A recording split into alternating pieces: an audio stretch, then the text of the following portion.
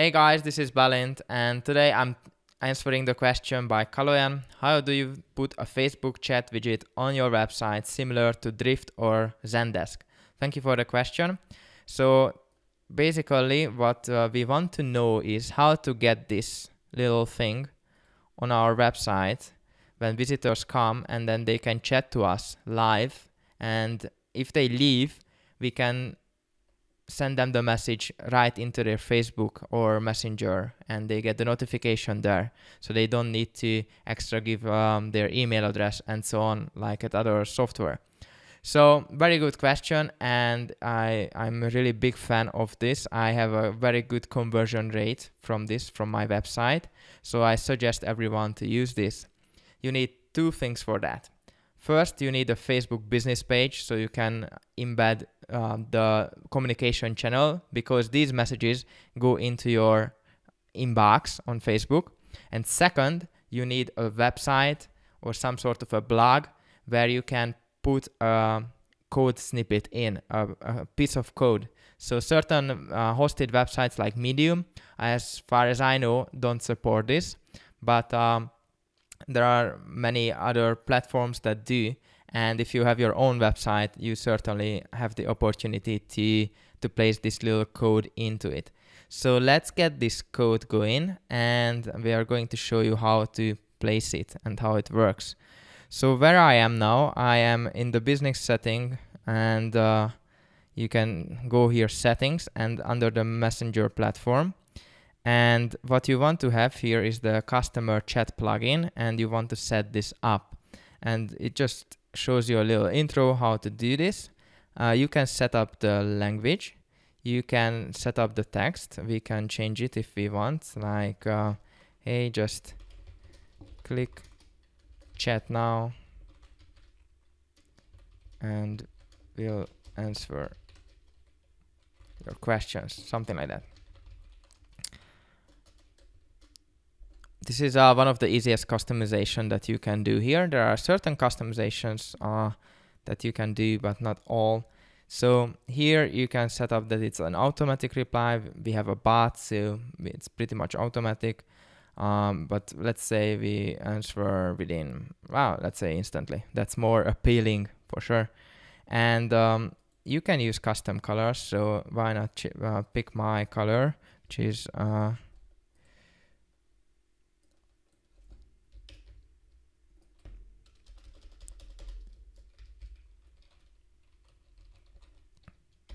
okay. So that's my color. So it's a little bit nicer now. And if I want to go I want to whitelist the pages. I have a test page we can use. And if you know how to do this you can just copy it. If not just get the website developers email address and uh, they will get all the notifications here. Okay? So what we're going to do here now is copy this code click on finish, it's done, and we are going to place this code into our website. So now I have um, for the overall website, so every page will load with this. I use uh, Divi, it's a great um, builder, it's uh, makes everything very easy. And I actually had the different code here, so let's just place this. And that's about it. You don't have to do anything else here. If you want, you can change the logged in or logged out greetings. You can, if you're comfortable with the codes, you, you can edit a couple of things.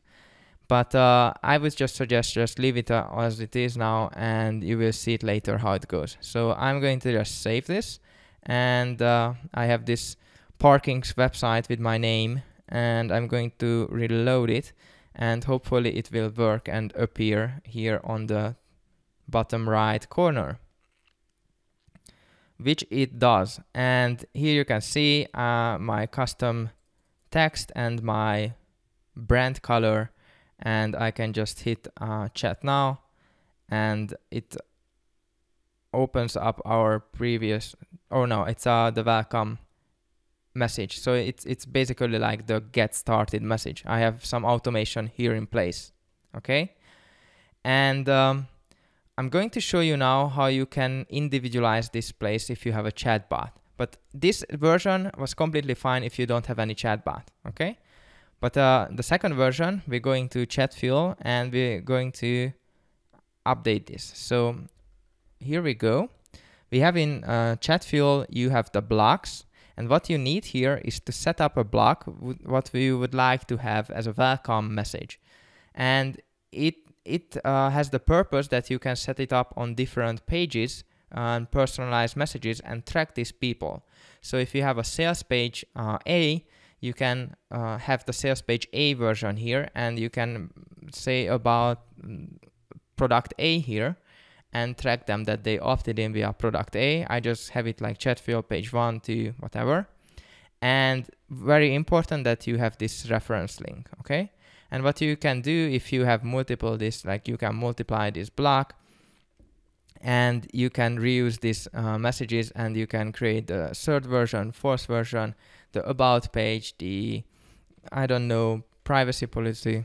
Why would you want to message, let them message you? But I don't know, weird things in Europe. So yeah, you, you can do something like this, okay?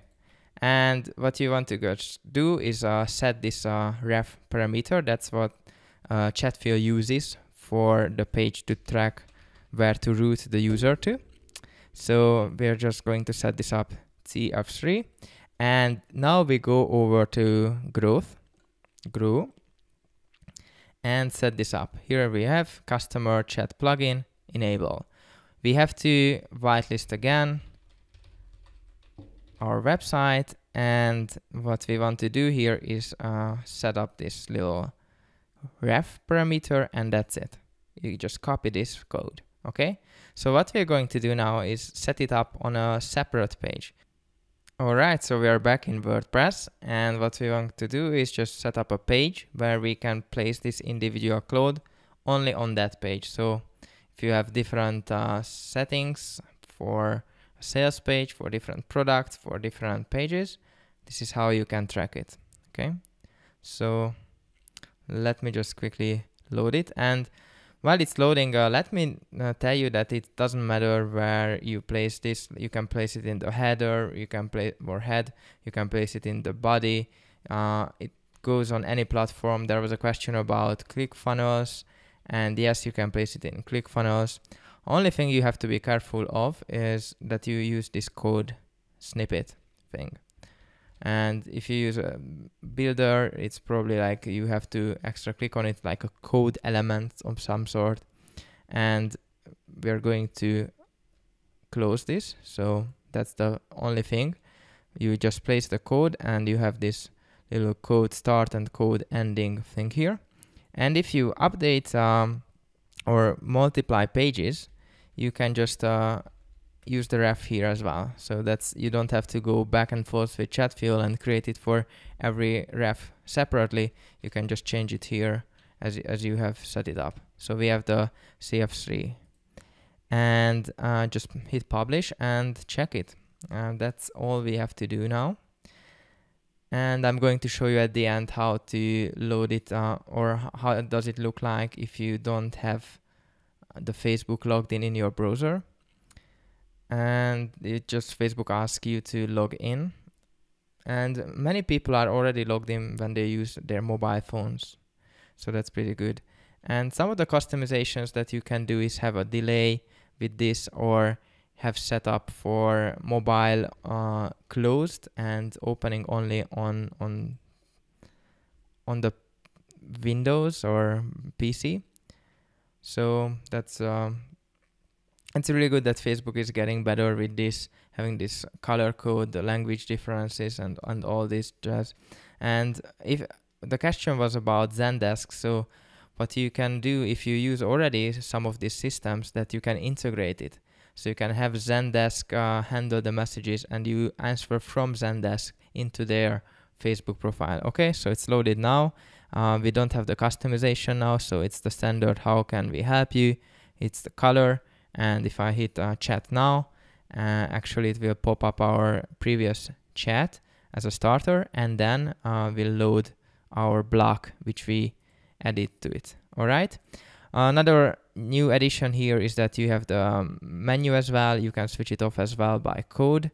And um, Facebook enabled here a little new as well which was not the case before Thank you very much for watching this video. If you have any comments, questions or requests, just uh, comment below. If you want to learn more about messenger marketing and chatbots, go over to botmastery.com. You won't regret it. Until the next video. Bye.